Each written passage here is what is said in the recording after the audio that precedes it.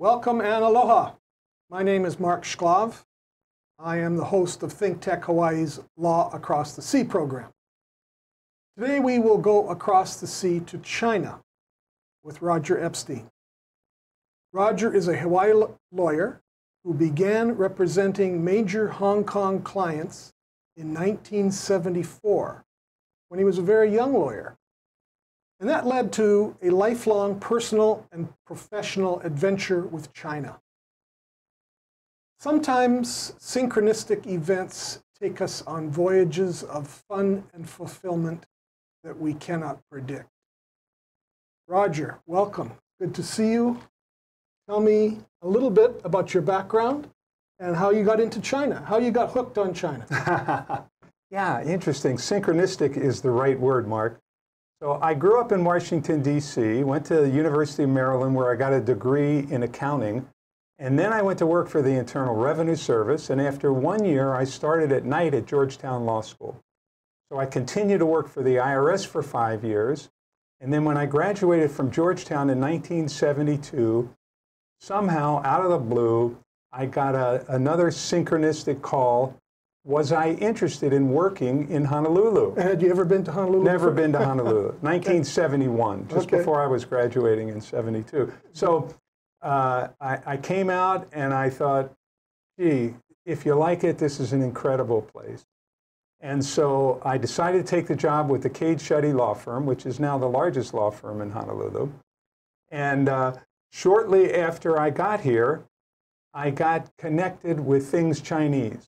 And, and your, your background was tax law. You came from IRS, and that's exactly that was your background. Yes. When you went to work for the firm, is that what you were doing with yes, the Cade's firm? absolutely. Okay. They'd been looking for a tax lawyer for some years. It's hard to find somebody with good experience, but see now, I had an honor degree from Georgetown Law School, and I and I was uh, with the IRS for five years, so they really were ah. happy to have me. So you had practical experience as well as the scholastic background yes. to be a tax lawyer. So you, you had the credentials. Okay, and then, and then what happened? Cades Schutte had a, a, program every Wednesday where they would call, they had what they call the tax talk. So all 30 of the lawyers in those days would go up to the Pacific Club and meet. And every week I had to give a tax talk to the other wow. lawyers so they could. This young lawyer. Right. So wow. I, my whole career, Mark, interestingly, has been 5, 10, 15 years ahead of myself. So right away when I came to Cades Schutte, I was giving tax advice to Russell Cades, who was already 60 years old, and I was 27. So it was wow. a really uh, interesting. Uh, interesting. Senior lawyer taking advice from a young kid, basically. Yes. So yeah. two things happened to me. One, I hurt my back, and I got involved with Chinese acupuncture. Oh, okay. And the acupuncturist said, look, you could take acupuncture every day for your back, but if you want to learn how to take care of yourself, you need to learn how to do Qigong. This is 45 years ago. I fixed up their company so that it became a Taoist church, a clinic, an acupuncture clinic, and a school. And the church was on top, and I got them a tax exemption. So you used your background in law and to help them. to help them, and they helped you. And then they, then she said, "Why don't you become chairman of the board?" so I became chairman of the board of a Chinese acupuncture college for almost 20 years. Wow. So at okay. the same time, uh, Sir Run Run Shaw, who was a knight of the British Order and who created the kung fu uh, genre of movies, he had some 10, 20,000 acres in Hong Kong where he had movie studios and, and uh, uh developed all this. His daughter lived in Hawaii. And his son-in-law was the head of uh, Morgan Stan, what's now Morgan Stanley. And so it was, he hired Milton Cades, to help them because Run Run Shaw wanted to acquire real estate in the United States. So he hired Milton. Milton brought me along to the meeting. They needed Paul tax advice. Need tax advice. And, and, and, actually, Milton was the first tax lawyer in Hawaii, but he was already kind of over the hill and brought me he along. very senior. Very senior. Needed somebody to do the do all the work, work like yes. I used to do in the last few years when I was at Cades Schutte. At the same time, Jardine Matheson, one of the oldest and largest companies in Hong Kong, acquired the Theo Davies Company oh, right. the end of 1973. So both of those things happened at once. Yeah. And synchronistic. Synchronistic. And then a third thing, I had a, a, a client came into the office and uh, one of the other lawyers brought me to the meeting, and they were sending charters from San Francisco to Hong Kong. $499 round trip, San Wow. Francisco to Hong Kong, and a week stay at the Hilton or the Hyatt. Wow. So I told them, they said, well, we're going to make a lot of money with the tourists going to nightclub tours and this in, in Hong Kong, and we have a partner there. Can we keep from paying taxes on the money we earn in Hong Kong? And I said, yeah, if you set up a company in Hong Kong. So they said, oh, well, then you got to come here. Okay. So they flew me to Hong Kong, and uh, I had a really nice room with all these amenities and welcome from the manager, assistant manager, all this kind of stuff. And the next morning, I got up to meet with my clients. They had a two bedroom suite in the penthouse of the Hyatt Hotel Wow. in Kowloon. So, anyway, they had a dining room table for eight. They say, Roger, come on in. Give them, they had a waiter taking their order in their room. Anyway, long story. I, I, uh, uh, they said to me, What are you going to do while you're here? I said, Well, I'm meeting with Run Run Shaw because he just became a client. Now, this guy's 70 years old. Run, run, and, Shaw. Yeah, and a Knight of the British Order. Yeah. So they, they said, Well, why don't you use this place to meet with him? So here I am, their 27 year old U.S. tax lawyer, entertaining Run Run Shaw at age 70 and his CEO and CFO in my two bedroom penthouse suite in the Hyatt Hotel. I'm sure that made a very good impression on them, right? It, it, it made them think I was way above where I was. And I used to go to different uh, dinners with Run Run Shaw, sitting in the back of his Rolls Royce. But then we started talking politics about some time later. And uh, we weren't on the same wavelength. But, but anyway, it was a wonderful experience. And Jardine Matheson then acquired uh, Davies around the same time. And I ended up going every six months to Hong Kong, working with the Shaw brothers and uh, Jardine Matheson, uh, and uh, being their, both of their U.S. tax lawyers. And so this boy from D.C. Yeah, who had never been to Hawaii, never. not to mention Hong Kong, all of a sudden finds himself through all these little connections yeah, that you couldn't have predicted, right? I mean, right, absolutely. you, had, you know, you hurt your back, right. and boom, All of a sudden, of a I'm the sudden, chairman of the board of a, a a Taoist Chinese yeah. uh, a group Okay. of companies. So what, what did you do? Well, how, is, is that how that, that's how you got hooked? That's how you got into China, right? I mean, but you, Hong Kong wasn't quite China then, right? That's exactly right. Yeah. Well, I started going to China. My first trip was 1974. Uh, and Hong Kong was due to be returned to Britain in 97. Mm. So between 74 and 86, there was no assurances what Britain was going to do. No one really knew. They had a 99 year lease, which expired in 97. And so at that time, it was an independent colony and uh, very much of the financial uh, uh, place in the world. And so uh, uh, it had its own, its own uh, mostly British operatives in uh, politics, but it had its own existence. And then about 86, 85, 86, the Queen announced that she was going to give it back. So nobody knew what was going on. In fact, one, I took a, early on, I took a little sightseeing tour, and the tour guide took me up a mountain in the New Territories, and she said, Look over there. And you could see a train track that ended at a fence. He said, That's China. Now, Nixon went to China in 1972, the great handshake uh, uh, experience, and uh, uh, that was an opening. But remember, uh, uh, diplomatic relations with China didn't really start until 1978 with the United States. And, uh, uh, but I was doing these Chinese things in, in, in uh, Hawaii, and I was traveling every six months. I would go to Hong Kong, and then I would travel around Asia. My other client was the, the Hong Kong side of the travel business. So after I'd spend a week working really hard in, in Hong Kong, I'd take two weeks, travel all over Asia by myself, and they'd set me up in suites here, and you know, it was, it was good fun for uh, a 30 year old. Well, let's take a couple photos of places in China that you've been to, and we'll, we'll do some more after the break. But let's take a look at the first photo and tell us what this is.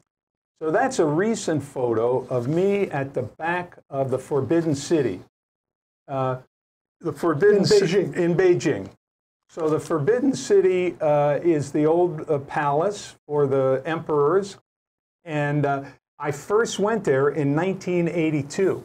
This picture is just a couple of months ago, but I went there in 1982, and I was thinking about it the other day. All of the people there in 1982 were foreigners. There were almost no Chinese there. Oh, wow. And uh, because Chinese didn't have any money to travel, uh, like I said, uh, uh, Deng Xiaoping took over in 1978 after Mao died in 76. And then they had four years of, by the time I got there, they were just four years into the opening up and becoming a capitalist country. Okay, let's take a look at the next photo. and Take a, where, where's this? This is a beautiful park that I love. It's actually not too far from the Forbidden City. In And on the- Beijing also, In Beijing. yeah. On the right-hand side, there are thousands and thousands of tourists. But they see that you can just see the big wall on the back side, must be 12, 15 feet high on the right-hand side. Mm-hmm. On this other side, there's this little park that has only one entrance. Very few people go there. And there's a thousand tourists on the other side. So I come here, I practice my Qigong. I sit around. I took this picture I just thought was just beautiful. I love these weeping willow trees. And the, the, on the right side where the color is, those are flowers and there's a waterway. It's pretty classic uh, of, of, of Beijing. There's so many nice parks and they're kept so nice because labor is still cheap. And, you know, we don't really know about that side of Beijing or China in America. We don't. We, we think it's concrete or it's. We, you know, here's an interesting thing. I was in Beijing not too long ago, and I was sitting in the, in the lobby of the, uh, uh, the Beijing Hotel, one of the oldest hotels there, and there was a couple, young couple from Pennsylvania. And I chatted them up, and I said, uh, uh, she, she said, you know, I said, what do you think of China? She said, you know, it's nothing like I thought it would be. And I said, what'd you think it would be? She said, I don't know.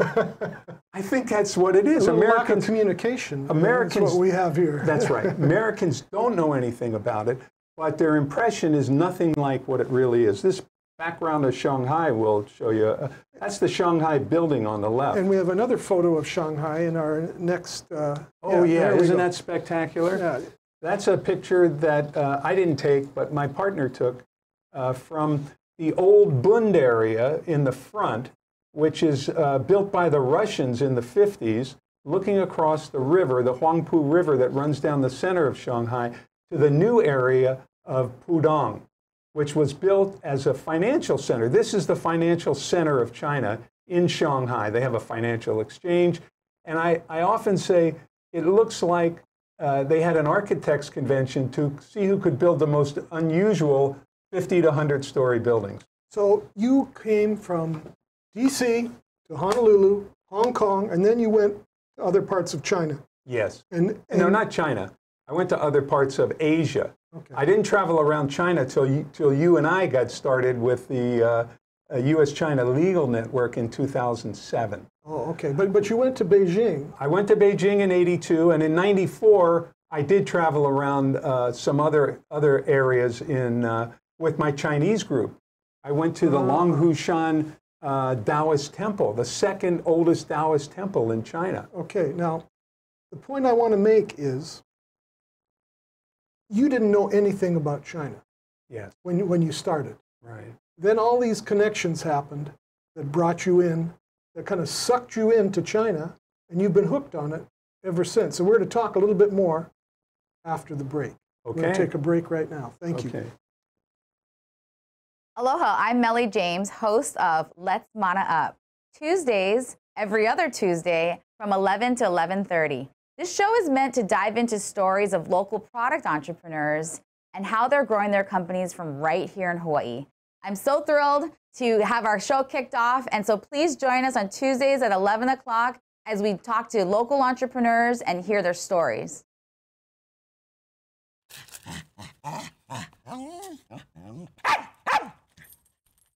Aloha! My name is Wendy Lowe, and I want you to join me as we take our health back.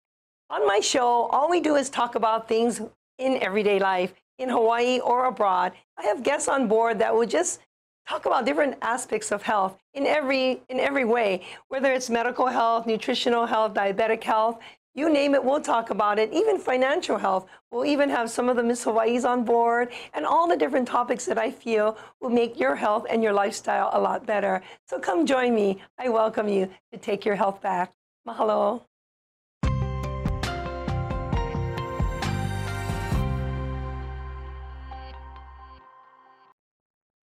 Welcome back.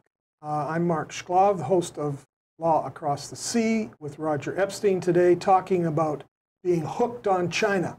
And Roger got hooked. A young man, a young lawyer, whose background kind of set him up to go to Hong Kong first and learn a little bit about Chinese religion and art. And then he went across the sea to China. And Roger, okay, tell us what you've learned. You, let me, let's go to the next photo and talk a little bit about what you learned about China. Well, this photo is a very interesting one to me because it speaks to the, uh, the changes in China uh, since uh, I've been going there. So I mentioned to you in 1994, I went to the Long Shan Monastery with my Chinese group. That was for the grand opening of the Long Shan Monastery, the second oldest monastery, Taoist monastery in China. Wow. This picture that you just had up is uh, the Jing'an Temple this is on the Rodeo, Nanjing Road uh, uh, is, is equivalent to Rodeo Drive in China, Rodeo Drive in LA. And this temple is right at the end of this, you know, every store you can imagine shopping district. And these are gold leaf. There's a bunch of these. I, I, I, have a number of photos of this. These are different kinds of Buddhist uh, masters. This is a Buddhist temple, not Taoist. Mm -hmm. But when I first started going there regularly in 2011 to Shanghai, uh, it was totally run down. It was kind of interesting to see an old rundown temple. But starting in uh, uh, 2015, I think, they began to fix it up to where now it has gold leaf. On, this is on the so roof of the. So what does that tell us about China? Well, think about it. In 1994, they were just allowing religion. Now, on the busiest street in, the, in Shanghai, they've put I don't know how many tens of millions of dollars into making it at a much higher level. So what it tells me is that it's, it's, it's demonstrative of the opening up of China uh, from a, a, totally, you know, uh, uh, uh the, the completely communist system, nobody could even own anything, to the heavy capitalism we have now. The same thing with religion. It's gone from banning religion to opening it up for tourism to now making it as prominent as it needs to be. And there's lots of Chinese involved. In lots of Chinese. Let's take a look at the next photo. Okay. This temple, this is from the Heming Shan temple that I went to last year in Chengdu, which is where the pandas are, by the way. And uh, Chengdu, this Heming Shan temple, is the first Taoist temple in China. And it was, it was built in 46 AD. So the first century after Christ. Wow.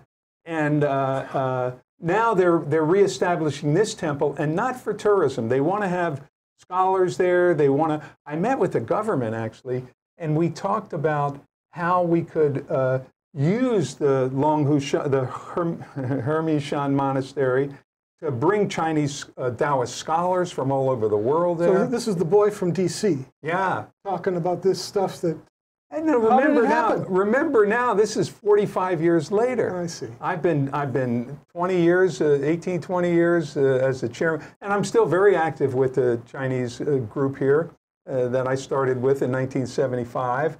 And, uh, uh, and I'm doing all this business. I've got a bunch what, of lawyers what, there. What are you doing in China now? Let's take a look at the next slide. So my first thing, as you well know, was about lawyering in China. Mm -hmm. And, and now I retired from Cades Schutte in 2016, and I formed a business called Asia Pacific Group.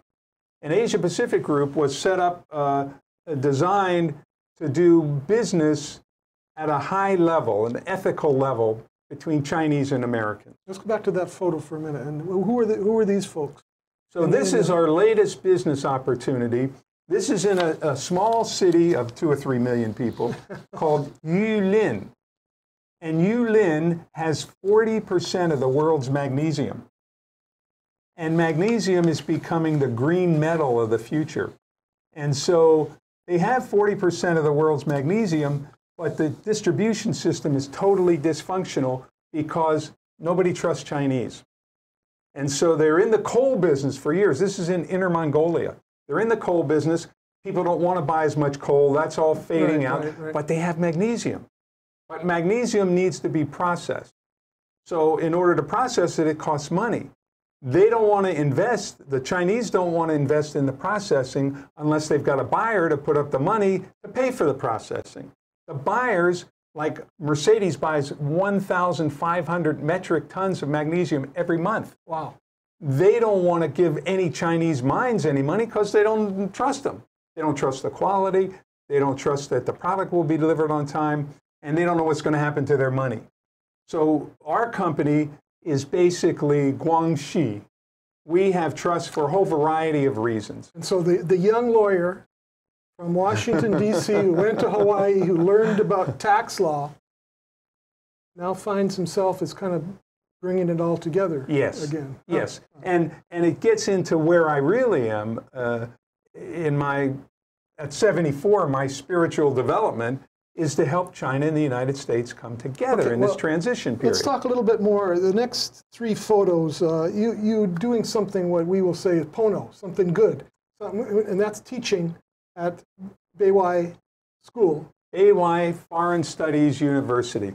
70% of foreign diplomats from China went to this school, and I was invited to come and speak at the law school. This picture is from the law school building looking back on the main campus. That building in the front Nice is campus. nice campus. That's the that's the main uh, building in the campus, and then inside you see the trees, and it goes back. It's not all those buildings, but it goes back quite a ways, and it's a very nice school. So what did you teach? I taught two classes of uh, uh, legal writing, which I hadn't taken a legal writing course in 50 years, and I taught one class graduate students at US in U.S. tax law.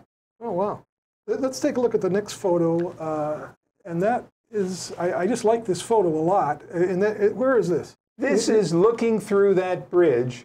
In the back is called the Summer Palace, uh, where the emperor and, and his group uh, would stay for the summer. It's you in see the Beijing. big. It's in Beijing, yes. And so it was this when you were there teaching? When I was teaching, one of the great things I did uh, was I bought a bicycle. And I was bicycling all over Beijing. It's a terrific city to bicycle as long as you're not, don't have too much fear for your life Because of the traffic. because of the crazy traffic and nobody follows any rules. And how about the air? and the air. Oh, I, I, next time I come on, I'll show you the mask I bought. It's a Darth Vader mask I bought. I wouldn't go Yeah. on the bicycle and exercise like that without a Darth Vader mask on. Uh, uh, and so uh, there's a canal that I rode down for about an hour to get to the Summer Palace from my, my uh, room at the, my apartment. So, so besides teaching, you uh, uh, were able to wander around the city, take a look at Beijing, take in its sights. Oh yeah, and, and I sounds. and I also had my company going. So we had an office in Wangfu Jing near Tiananmen Square, near the Forbidden City. That was about 10 miles. So I would ride back and forth to there and, and get a good look at the city. And the next photo we have here looks like, uh, uh, is this your class or what? what This is this is five of the students and myself. I, there are about 35 students in my tax class. The woman in the front was such a sweetheart. She was my uh, like class assistant. So when I would pass out homework and things, she would. So I got to China uh, for Beiwai, and they said, uh, "Oh, you're going to teach this graduate tax class, which I've taught at the University of Hawaii." So I had all the paperwork and I had all, you know, everything all set up for this. And uh, I get there, my first class with the graduate students, nobody had had a class in accounting. Can you imagine the tax law class in the U.S. tax law? you Yeah, a- that's a, you, you take that first, right? so I had to, yeah, you, you know, accounting is kind of the Basic. the basics Yeah. for. So I had to, uh, to become an accounting teacher, see. but they, it was such a great experience, and the kids are so good. Uh, the, un, the the undergraduate students, especially the women, the young girls, and the, uh, law is an undergraduate course in China. Uh-huh. And I was teaching two classes of legal writing, about 25 kids in each class. And uh, uh, uh, it was in English using American case law. Isn't that incredible? And and uh, the the, uh, the young people were pretty pretty sharp. The women were very sharp. The guys were mediocre. And this is a good school. I, this is probably one of the top 10 schools in the country. And not the, not the number one, but very high up there. And I can't tell you how the girls, they were just so uh, uh, interested in what was going on and worked hard. And, and uh, I really focused on telling them how important it was uh, to be meticulous in the United States and really drilling into commas and, you know, uh, Proofreading, as we call proofreading it. Yeah. as well as all the other factors that are necessary. And also telling them how important I thought it was that they were going to understand the US and China because this is where the future is for the world for the next 20, 30 years. Okay, so we have a couple minutes left. What have you learned about life and law from your how many 45 years Yeah. experience Yeah. with China and being hooked on China? And while you talk about that, let's take a look at this last photo. I would say I've learned, of course, uh, and began to learn this when I moved to Hawaii, that everybody's the same. Everybody wants to have uh, a family, they want to have a good job, they want to take care of themselves and people close to them, and that's their primary goal. They're not political. Uh, China has become a very uh, uh, uh, capitalized. There's so many middle class people there. 800 million people got out of poverty, and they have no ethics. They're just getting into ethics. The same time that I was going in 1994 to the opening of the uh, uh, Longhushan Monastery, they were beginning to go back to their own principles of Taoism and Confucianism and Buddhism, which had been put down by the Communist Party for so many years. Everything old was Back put to down. basics. Yeah. And so what I see now is the same growth in ethical conduct, especially with lawyers and wanting to uh, uh, develop that. And, and, and we recognize they're not there yet. One more look at the last photo and tell us who that is and what that tells These- you about your life in China. These are the two sons of Kingward Gan, who was one of the lawyers that, that came, as Mark knows, to our uh, uh, U.S. China Legal Network program where they stayed in Hawaii for three months. The boy closest to me is Rain. I had a contest with him when he was three as to whether my Chinese was better than his English. The younger boy was born in Los Angeles in a program to make him a U.S. citizen. Okay, so the point you're making is we're all the same. We're all the same, and we should be coming together. We should be collaborating. China's going up. The United States is more stagnant, but they still totally admire We us. We should sit at the same table Sit and at work to, and, and what we have to offer uh, wisdom, technology, about all kinds of things they can use in their growth. And now we're all participating to make the world a better place. Roger, and thank you. Hawaii's perfect for this. Thank you very much, Roger. we'll talk again. I look forward to it. Thank you. Aloha. Aloha.